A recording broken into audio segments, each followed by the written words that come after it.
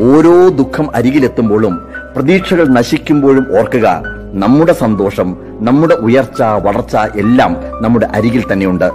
അതിലേക്ക് എത്താൻ ഏത് ദുഃഖത്തിലും ദുരിതത്തിലും സ്വപ്നങ്ങൾ കൈവിടാതെ മുന്നേറുക. നാളെ നമ്മുടെ സൂര്യനും തീർച്ചയായിട്ടും ഉദിക്കാതിരിക്കില്ല.